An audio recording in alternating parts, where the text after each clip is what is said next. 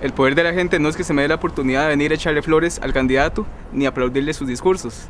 El poder de la gente es que la plata llegue a las comunidades, que se trate con dignidad a las personas y que la gente vote por convencimiento y no por un ofrecimiento que le haga un candidato. Johnny Araya, el poder de la gente.